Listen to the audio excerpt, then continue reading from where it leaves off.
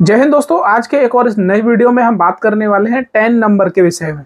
दोस्तों, PAN number या PAN card तो आपने पहले ज़रूर सुना होगा, लेकिन आज के इस वीडियो में उसी से कुछ मिलते जुलता एक हमारा नंबर है, जिसका नाम है टेन नंबर, या आप इसको टेन कार्ड भी कह सकते हैं।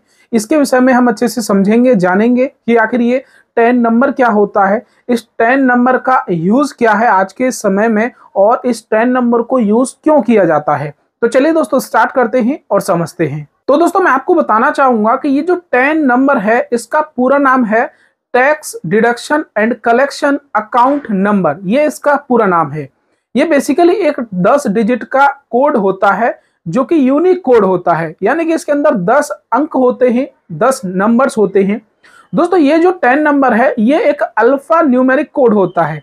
अल्फ़ा न्यूमेरिक कोड वो कोड होते हैं जिनमें अल्फाबेट्स जैसे ए बी सी डी और नंबर्स जैसे वन, टू, थ्री, ये दोनों कंबाइंड होते हैं, वो अल्फ़ा न्यूमेरिक कोड होता है।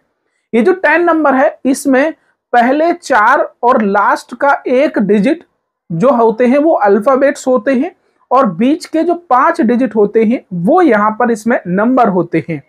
दोस्तों, ये जो टेन नंबर है, ये इशू किया जाता है इनकम टैक्स डिपार्टमेंट के द्वारा। यानी भारत का जो इनकम टैक्स डिपार्टमेंट है, वो इस टेन नंबर को इशू करता है। दोस्तों, अगर कोई भी व्यक्ति ये टेन नंबर को प्राप्त करना चाहता है अप्लाई करना चाहता है इशू करवाना चाहता है तो उसको एनएसडीएल जो कि भारत के इनकम टैक्स डिपार्टमेंट की वेबसाइट है, वहाँ पर जाकर फॉर्म 49 बी को जब फिल करेगा तो उसको वहाँ से फिर ये टेन नंबर इशू करवाया जाता है। अब आप सोच रहे होंगे कि आखिर इस टेन नंबर को यूज़ क्यों किया जाता है और कहाँ पर? तो दोस्तों, मैं भी आपको बताना चाहूँगा कि जब भी कोई संस्था, कोई कंपनी या कोई व्यक्ति कोई टीडीएस कलेक्ट करता है या कोई टीसीएस को प्रोवाइड कराता है टीडीएस यानी कि tax deduct deduction at source और टीसीएस यानी कि टैक्स कलेक्शन एट सोर्स ये दो तरह के टैक्सेस होते हैं। जब इनको कोई व्यक्ति कलेक्ट करता है या प्रोवाइड कराता है तो उसको ज़रूरत पड़ती है इस टेन नंबर की। जी हाँ दोस्तों, जैसे हमको अगर बैंक में अपना पैसा जमा कराना है तो हमको ज़रूरत होगी एक बैंक अकाउंट नंबर की।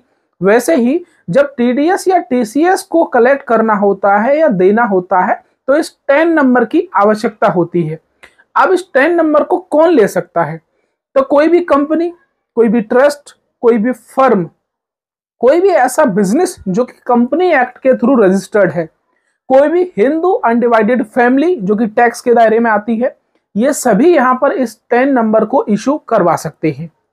अब इस टेन नंबर के लिए क्या डॉक्यूमेंट चाहिए होंगे? तो सबसे पहले आपके पास एक टीडीएस सर्टिफिकेट होना चाहिए। आपके पास टीडीएस जो फ़ाइल करते हैं टीडीएस या टीसीएस उसका रिटर्न होना चाहिए।